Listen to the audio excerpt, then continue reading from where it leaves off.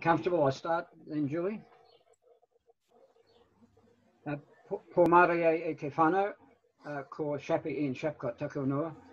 I'm uh, a Kaitiakitanga representative of uh, Te Atiawa uh, o Te Waka o Maui, uh, who is a tangata whenua iwi in Nelson and Marlborough, and uh, hence um, I'm representing them uh, by opening with a karakia. Ino tato. Whakatakata hau ki te uru, whakatakata hau ki te ki makina kina ki uta, ki mataratara ki tai, i hei aki ana te atakura hi tio, huka, i hohu, ti hei mariora. Thanks, Julie. Thank you. Welcome everybody to um, what feels like a bit of a, a closing, not just because of the closing of the year, but a closing of a really huge piece of work that has been undertaken over the last, goodness, uh, eight months by the Climate Forum. Um, not closed because we have reached a consensus and approved anything, but in the sense that this is our last hui at which we will look at the draft and feed into it and improve it. Um, at the next time we meet, we're going to go for that um, approval process um, as the first iteration of um, our regional strategic climate action plan. So thank you for being here today to help consider these new sections and to help um, make them as excellent as they can be. Um, we're also here to put that work into context. And um, I'm delighted to welcome Shappy here today um, who has put in a huge amount of work behind the scenes um, for the Climate Forum from its very beginning, from its seed um, within the working group that was thinking about how best to create it through the drafting of the charter that we hope will also be ready at our next hui to sign in February. Um, and making sure that um, the work that we do um, strategically does not have um, only a human centric Pākehā approach to a climate change response, but also um, as much as we are able um, incorporates Te Ao Māori and other um, ways of looking at how we can respond. Um, and so I'm delighted that he has um, put forward some time uh, for us tonight um, to tell us a little bit more about what that might look like for us to take his thoughts into our coming session on our strategic action plan um, and to really make it something this region can be proud of. Um, I think that's quite enough from me. Um, so over to you, Shappy. Um, I'm really grateful. Bring my slideshow. Thank you, Tēnā koe. Uh, how are we there, Jess? Are we big enough? Uh, just give it a one minute to load on our screens, Shappy. Yep, okay. there it is. And if you wanted to hit play on that slideshow, we'll then be able to see the full full thing. So, okay, so you, you, you um, tell me where I hit play. Um, uh, see, up in the top left hand corner, there's like the little save button, and then two over from that, there's like a display button. Oh, yeah. That yeah, one. Have a crack at that. I think that should do it.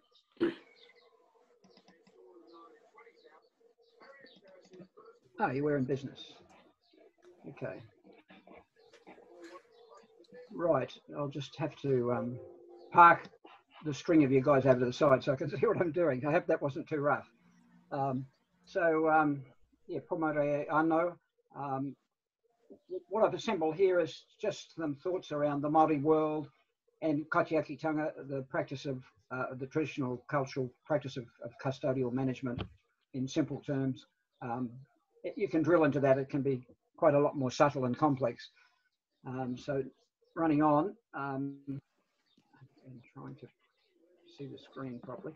Um, so I, have introduced myself. I, I, work for Te Atiawa Manawhenua Ki Te Tau Ihu Trust, and I'm a member of our Kaitiaki o te Taiao team, the, the KT team. And the role of the KT team is to support the Kaitiakitanga responsibilities of, of Te Atiawa, Te. Um, I'm a, a long-term friend of Te Atiawa's. I've had a relationship with them for over 45 years. Uh, I've been working with them for oh, over 35 years professionally and for them um, around 10 years. And so I'm, I'm, I'm part of the whānau to all intents and purposes. Um, so iwi Māori in the contemporary world, I, I, it's just an orientation um, process, a few slides here. I'm not trying to, uh, with this presentation, convince anybody of anything. I'm just exposing um, uh, the evening to some thinking and, and some um, insights that we've developed in our work over the last years. So in this post-settlement world, and if you bear with me, I'll, I'll read the slides to you if you could follow them. Uh, it's vitally important that Crown Pakeha side of the treaty, the treaty gains an understanding of Māori living, participating in the 21st century. It's our shared contemporary world, the world of Aotearoa. So we've got Te Ao Māori and Te Ao Pakeha, those two worlds coalescing, two parallel and complete cultural worlds which exist side by side. Okay, key factors to enable an understanding of this circumstances circumstance involves kinship and time. So kinship, uh, tikanga Māori, Māori culture interprets the natural, biophysical, metaphysical world, um, Atua, the deities who gave rise to it, including humans, as totally interrelated. All entities whakapapa relate to each other. It's holism in our European cultural sense. And I'm I'm, I'm amongst holism adherents there, otherwise we wouldn't be all talking around uh, the climate forum, I'm sure. So time, as a consequence of, of Māori culture, Māori understand about the heritage legacy provided by the past, the mana, the status of their ancestors, and the cultural knowledge that has been passed on to the living generation. This knowledge from the past provides for affiliated continuity for Māori and inherently contributes information, knowledge, understanding, guidance, wisdom, and direction enables the present world to be interpreted intelligently, richly, and with perspective, so that the current experience and future vision can be given an informed context. It's all very well me saying that, and it's all very well Māori having that tikanga historically. The, the difficulty is in the in the damage from colonisation over 150 years now uh, from the treaty. We uh, Māoridom is struggling to to refind itself in the post-settlement world. Uh, the, that is at a um, socio-cultural level, at a, at a, health level, at a at a level of, of um, economic um, um prosperity and the like. Māoridom is struggling forward. It's not a plain and simple um, time for them. So third time, Māori culture is not locked in the past. Quite often when we're dealing with agencies and councils and the like, they're just thinking, oh, the, the Māori, they've got some legacy there. There's a few middens. There might have been a pa there once, etc., etc. It ain't like that. Simply not involving what happened years ago, along with its physical le legacy. Māori culture is a living experience, as uh, our colleague that's just uh, done level two will tell you, and it evolves as time passes so that today's world is adapted to. Māori culture provides holism in time, a synthesis, a synthesis of past, present, and future, which underpins a living understanding about today and tomorrow and how to approach those life circumstances with a realistic intelligence. Accordingly, for Māori, the contemporary world constitutes holism in both kinship and time. This outcome enables Māori to live in, adapt to, and be actively involved in a culturally influenced and current way today, engaging actively with commitment in our shared contemporary world. This is how iwi Māori are naturally engaged as the Crown's treaty partner. This is our association with central government agencies, locally with DOC particularly, and with the councils who are empowered by Crown statute. And so the place we are in, the, the custodial responsibility, the place I live and work in and am embedded in daily, iwi members are kaitiaki and guardians within this region and carry an intergenerational responsibility for ensuring that the mauri or essential life principle of the natural world is maintained, thereby exercising tanga. As kaitiaki of this Atiawa Iwi, my employer, is interested to support those who respect the environment and acknowledge the Indigenous people. That's why the chair of the day, uh, Archdeacon Harvey Ruru, um, nominated me and empowered me to join the Climate Forum because we saw this as a very positive step in Kaitiakitanga. I can't be Kaitiaki because I'm not Māori and I'm not Tangata Whenua Māori either. Our office supports the whānau to carry out Kaitiaki responsibilities. One of the things that occurs regularly is that um, the collective community, particularly um, agencies and NGOs and the like, uh, in ignorance, I'll, I'll, give them that, that latitude, um, loop Māori in with stakeholders, and that's, that's the thing of fundamental um, uh, insult to tangata whenua iwi, to Māori. Iwi take offence has been collected in with stakeholders because they are the indigenous people of Aotearoa, the Crown's treaty partner. They hold mana whenua and mana moana in the rohe, in other words, the status of responsibility for the land and sea. As the people of land, the eight Tita Ihu, top of the south, oh, I've got a spelling mistake there, have ahi kā roa, um, continuous occupation, title to the land through occupation. The, the ahi kā roa is the fires continuing, continually burning since occupation.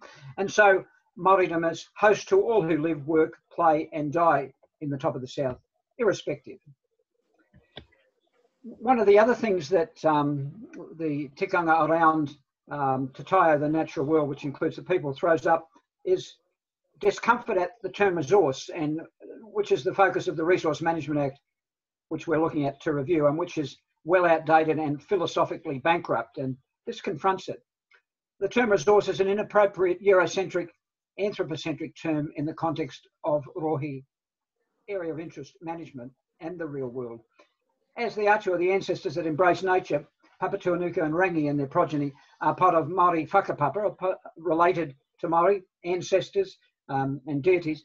Uh, their status should not be lowered simply to that of a resource for human use and abuse. And of course, as we know, all the um, other creatures aside from ourselves that make the collective biota of Tatai of the world um, have their own intrinsic worth to themselves. And so, why would you simply nail them as a in the lowly space as a resource? So these natural att attributes, of which humans are but one part, one attribute, each have their own intrinsic worth.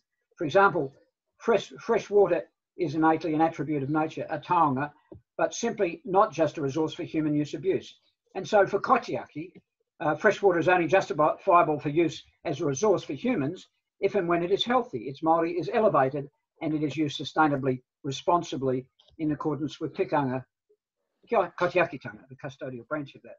Um, where we sit with um, our engagement with our host, the, the, natural world of which we're part, uh, where we sit with that, it's a cause and effect regime, and and the responsibility resides with us, and we haven't done well, as we know. And here we are in the Climate Forum trying to reverse those things. Change.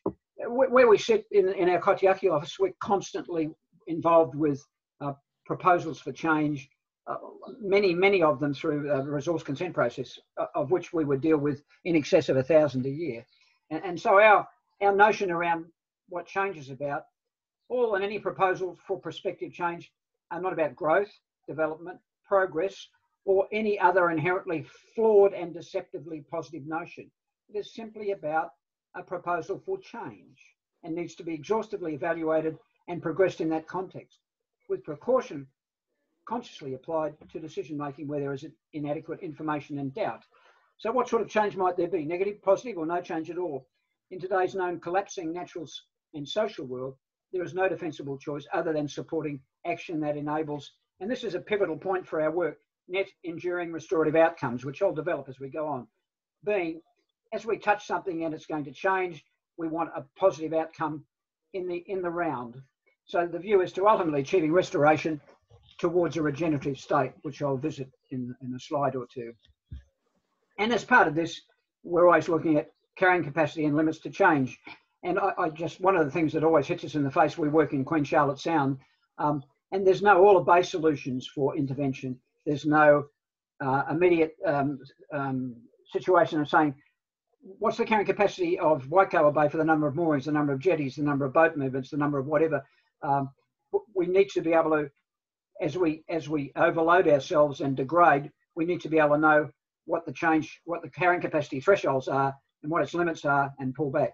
So our our working definition is the various points, thresholds at which changes to Te Taiao, the environment, which threatens to degrade it, become un unacceptable within precautionary limits. this is all stuff we, we throw out in response to uh, uh, discussions and, and confrontations over um, people having aspirations that haven't been thought through. The, the, the uh, road to destruction is paved with good ideas, we've found. So aspirations and expectations, given the greater, degraded state and continuing degraded state of the Rohe, um, the area of interest for, for Tangata Whenua uh, state of the environment monitoring supports this. The, the uh, our annual outcomes are just confirming that we're not managing well. It is obviously essential that all decision making and the consequent outcomes of change, including whatever project, enable positive restorative outcomes for Te Taiao, which naturally includes the whānau, the people. So because of this circumstance, it cannot be business as usual in the Rohe. I know I'm talking to the converted, so forgive me. Uh, consequently, to meet cultural responsibilities required by Kaitiakitanga, the Kaitiaki of, of, of Te Taiao office seek that all prospective change result in net enduring restorative outcomes. And so what's that mean? So we'll visit that, a couple of slides. So our team, the Kaitiaki o Te Taiao team, the KT team for Te Atiawa Mana Whenua Ki Te Tau Ihu Trust, we're a charitable trust, understands, is advised from current findings of Mātauranga Māori, Māori knowledge, and Western science that the natural world, which includes the socio-cultural world of the human species, is being progressively de degraded by unwise human activity slash behaviour. And here we are on the case. Climate change impacts are an overt expression, symptom of this continuing process, as is the widening gap in wealth equity between haves and have-nots in Aotearoa. You don't have to research very deeply to confirm all those things. Slide two. This situation, which adversely confronts the exercise of kaitiakitanga, our role, has arisen as a consequence of a long sequence of human decisions and actions that have enabled collective unsustainable change. We've reached a point at which it is clear that human survival is at stake, and also in conscience, noting our responsibility that this outcome has meant the extinction of many other species. We're working on ourselves, so maybe that's uh, something to contemplate. Uh, to hold an attempt to reverse this unacceptable outcome, all decisions and actions that deliver change must improve our current situation, be restorative. The change, changes must also endure if they are to be meaningfully contributory. Change is mostly multifactorial in its implications. So for the aggregation, for the aggregated elements of any particular change, for example, a housing development, the net outcomes of those collective elements of change must be positive. So where do we go from there?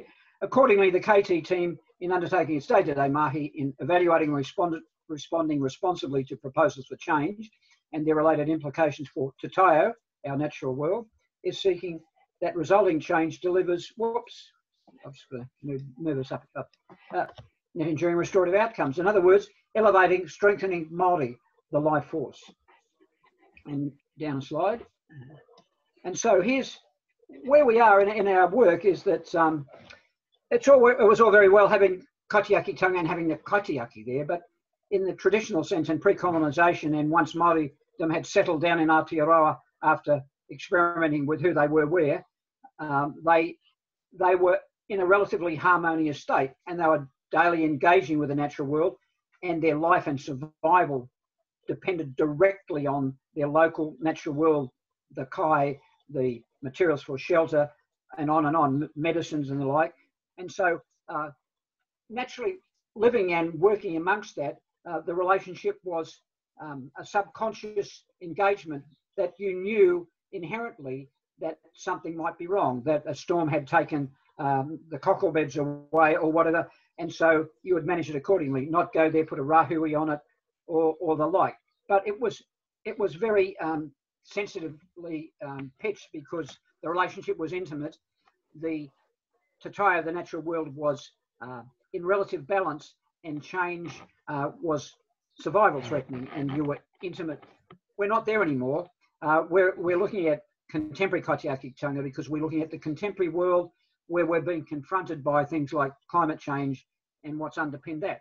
So in accordance with that challenge, uh, we've developed a framework for our own work here, and it's tikanga based, uh, based upon the customary system of values that have developed over time, acknowledging and respecting the Atua, the ancestors, the deities, all ideas tested against Maori knowledge, um, implemented through Kaitiakitanga, the responsible stewardship, through responsible stewardship, which I've worked on, focusing on the life force essence, and then all the work, all mahi to result in net enduring restorative outcomes, elevating, strengthening mauri, all work to result in outcomes to restore the health of the natural world, money before money, ecology before economy, acknowledging our global context. There's no escape. What we're doing uh, has wider implications. Think tourism, which we're currently engaging with in the COVID space and thinking where we go. Um, and so the goal here is healthy planet, healthy people. And we're looking at a healthy, balanced natural world, which includes the human species, people with a quality, sustainable lifestyle, which is underpinned by socio-cultural equity and justice. So all these parameters that I'm sort of dropping down are, are, are our day-to-day work. Uh, it's what shapes our focus and, and, and tests uh, what we confront and drives our, our proactive actions for restoration. So just there's a lot of discussion. Regenerative's become a buzzword, a bit like bespoke and a few other words have come in recent years. And I've had to, to peer into regenerative and, and think where it sits because we're dealing with people who want to carry out regenerative activities. Uh, so we've looked at, at uh, defining what it is. A continuing regenerative state is a state of healthful self-renewal, a self-perpetuating harmonious balance. It is an arrival point, a destination not attained without the necessary hīkoi journey.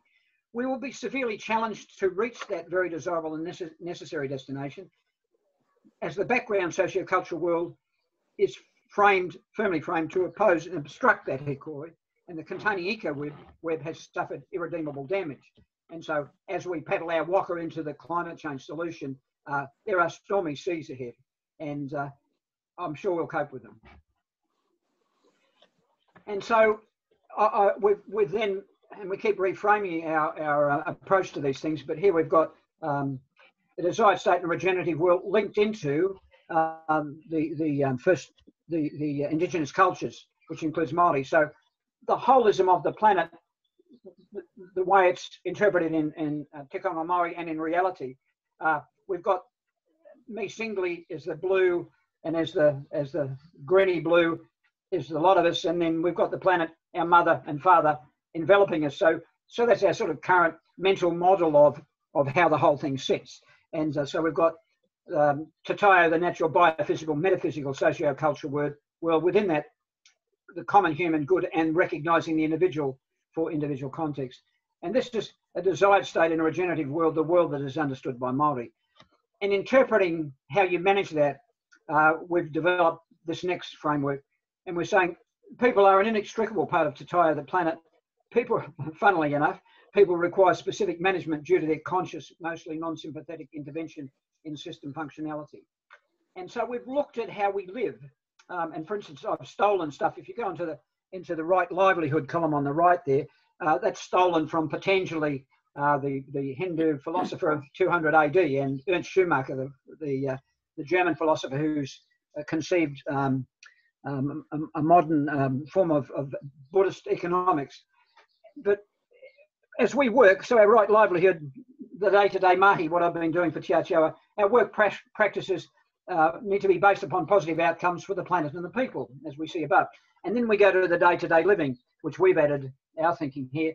So we've got our necessary work practices and our necessary daily living practices, right living and right livelihood. Right living is living practices based upon positive outcomes for the planet and people. So in a regenerative world, and this is the bottom line, these practices become customary. It's just what we do. We get used to being, uh, to living in favour of each other and our host, and we test everything against it. And then our good old mate, the economy, uh, isn't up there as a god or an atua anymore. It's sitting in the basement as our servant. The economy must positively support the health of the planet and people. It's a human construction for the management of goods and services. Uh, so deifying that with the atua of, uh, of Māoridom doesn't, doesn't quite coalesce. So desirable human behaviour which supports a regenerative natural world, the basis of re achieving regenerative management. I'm just about on time, Jesse. That's very good, just by accident. Um, and here's my closing slide pretty well. Uh, so here's the de desired state, state in a regenerative world. So our present biophysical, metaphysical, socio-cultural world is extensively degraded. Consequently, all actions, and I'm drawing the threads together, must result in net enduring restorative outcomes and be responsibly moderated by precaution. Outcomes derived strategically from this approach can progressively set the compass towards a regenerative natural world state. And those things I've said before, healthy planet, healthy people, and the bottom line uh, is sitting there. Um, and I've got questions. I don't.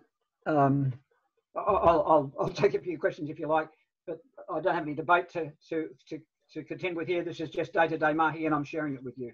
So over to you, Julie. Thank you. Kia ora. Kia ora, Shappy. Thank you so much for that flood of fantastic wisdom. Much appreciated. Um, if you do have questions for Shappy, please pop them in the chat. I've got a few to kick us off. it's okay. Um, my first one um, came to mind when you mentioned that your work um, is about supporting the whānau to exercise their kaitiakitanga. And I'm wondering what could the Climate Forum do that could support um, the whānau of Te Tauihu to undertake that work?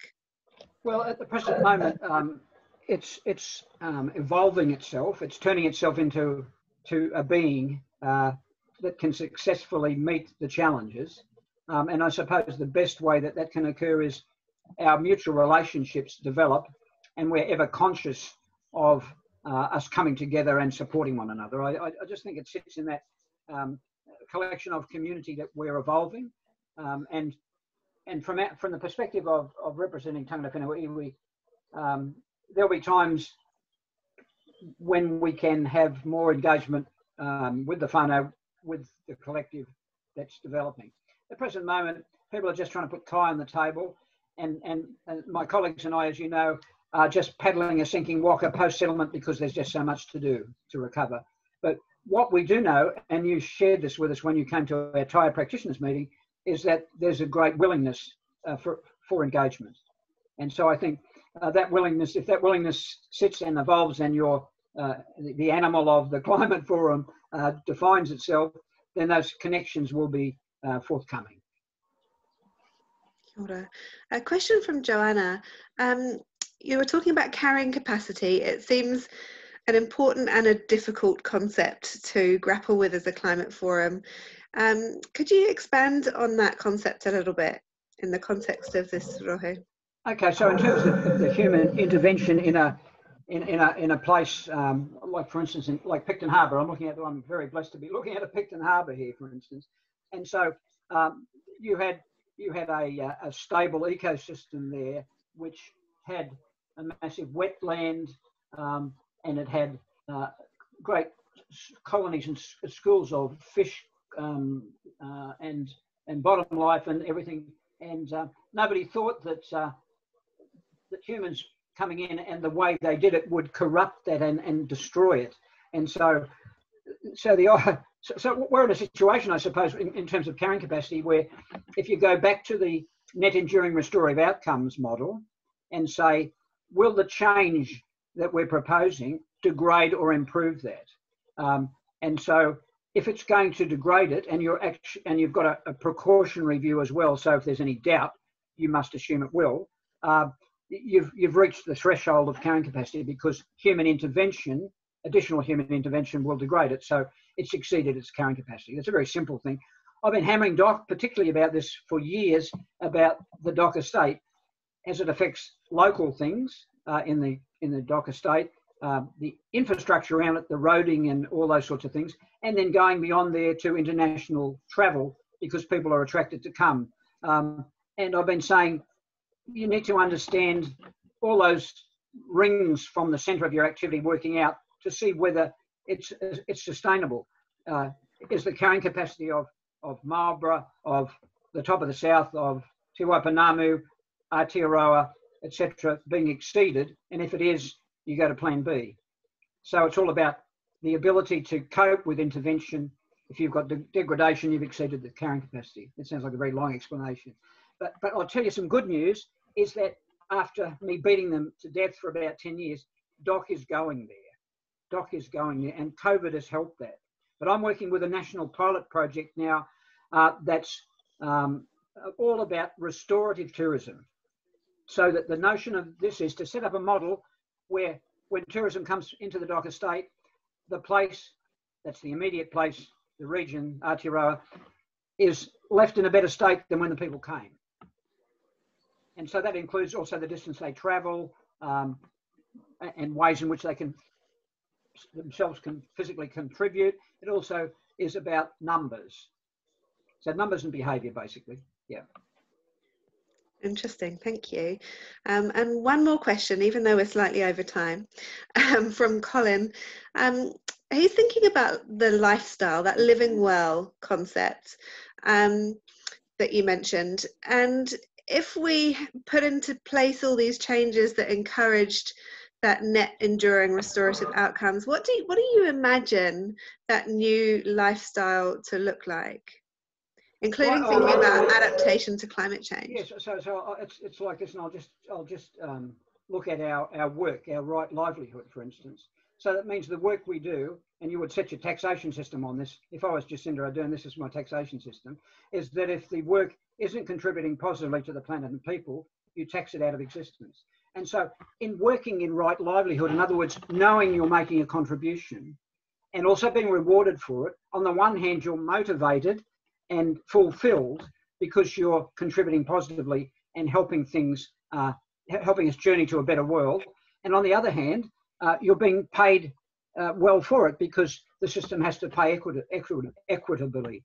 And so those two things in that particular case. Uh, and the other thing is that all the um, social science that we have from the point of view of, of uh, anecdotes from history and the great teachers plus modern socio-cultural research suggests that our major fulfillment comes from making contributions, not acquiring. And so what, what, what's happened to us and put us in this place, of course, is we've been socialized by marketing to the point where our gods are false. and it's going to take a while to journey to a new place. And it's not going to be straightforward. But the issue being is if we don't do it relatively rapidly, we won't be here to enjoy the future.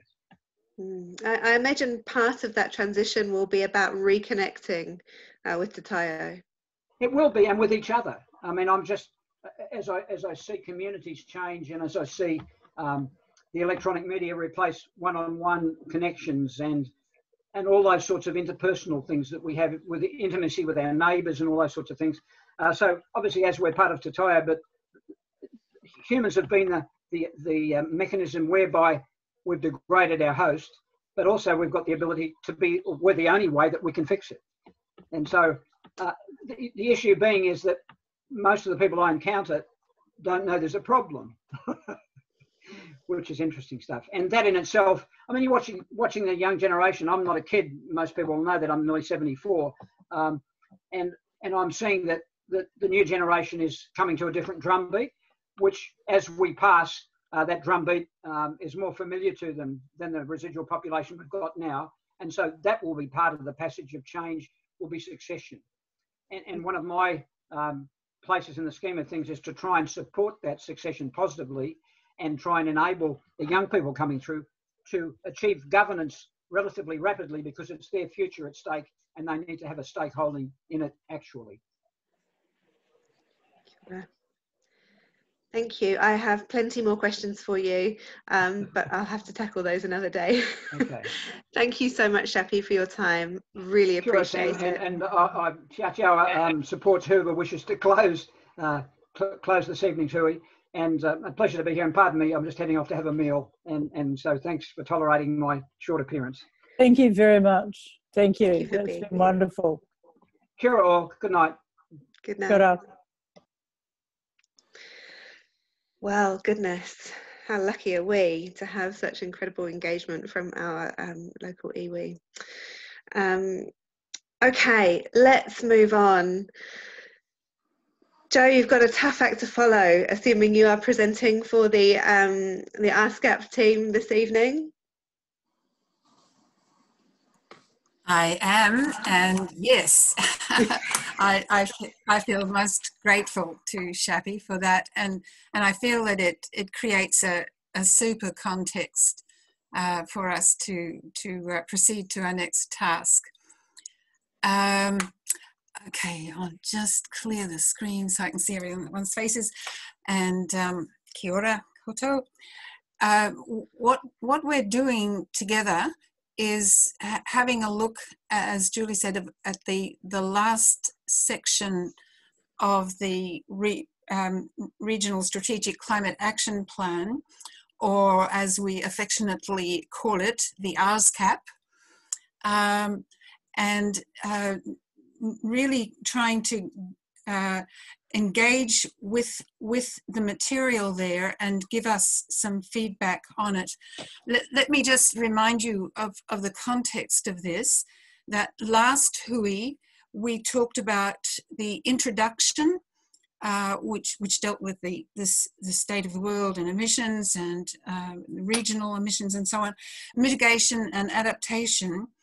Now this time we're looking at a couple of sections, one on vision and values, and the other on our responses to goal three. Just to remind you what goal three is uh, in the forum, uh, it's respond to climate change in a way that recognizes the rights of all living organisms, including people, and provides for a just, equitable, and resilient society. So you can see how that relates to Shappy's talk. Uh, in the document, it has the heading, A Well-Being Centered Transition. And I, would like to say just a little bit about how these sections were generated. Uh, with vision and values, the what the foundation of that was work that forum participants did in the July Hui on vision and values, and then all of the um, the these group strategic plans were scanned uh, for material that related to vision and values and, and that was added in. And then there was some study of vision and values of other organizations uh, as, and with particular attention to Te Tau Ihu, Ihu intergenerational strategy. So those, those were the things that went into the mix of generating the material you're about to engage with on vision and values. Similarly, for a well-being centered transition, there and it was Olivia Hyatt who who particularly worked on this section. There was a scan of the strategic action plans of all of the uh, working groups uh, for material that related to this issue, and and out of that was synthesized the section that you're about to work on. So what are what are you to do next? Um, we're going to form into breakout groups and in, in the context uh, of what you've just heard from Shappy, and also in the context of the huge necessary changes ahead in our ways of living and in our cultural values. One, is this a sufficient response that we have in the document? Is there anything missing? And is there anything that you have strong reservations or concerns about? So um, when you get into the groups, please appoint a note taker and the, the note taker will have access to a Google Doc.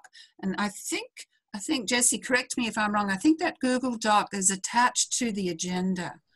Yeah, um, Julie's just popped it in the chat as well. So there's a link to the Google document there. Um, so if the note taker for each group could just add comments in that um, Google document as you go through, then we can see them all afterwards and we won't miss out on anything. Uh, it's just a PDF, Jesse. I couldn't see a link to the Google Doc in there. Oh, please add your comments to this document. I'll just grab the link. One second. Sorry, I put the wrong link in. No, that's all good. So that the one that Julia has put in is the entire document. Um, so you can see where things fit in in context. And then the one I've just shared is only the new sections. So in your breakout rooms, we're just asking to discuss only those new sections of the RSCAP. That's correct.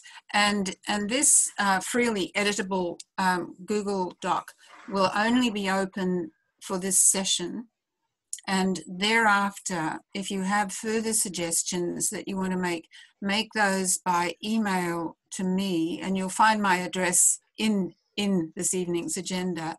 And those those ideas will be passed on to the climate action plan group, uh, which will then be working on your suggestions over the next few weeks. Um, the, and the deadline for those emails is this Friday, 5 p.m. Any questions on what you're about to do and how to do it? Okay, excellent. That's it for me. Uh, Colin, you have a question? You Oh, need to sorry. unmute, please. trying to trying to get my mic working. Yeah, Julie, could you just repeat the three key points that you wanted us to address? Yes, thank you. The questions are Is it sufficient? Is there anything missing? Ah, And is there anything you have strong reservations or concerns about? Um, Jesse's just popped those in the chat for you. Thanks, Jesse. Okay, so we're going to randomly put you into uh, five groups um, rather than trying to get each group to have a member of the RSCAP group in it to begin with. If those RSCAP group people find themselves in a group with another RSCAP group, can you please come back to the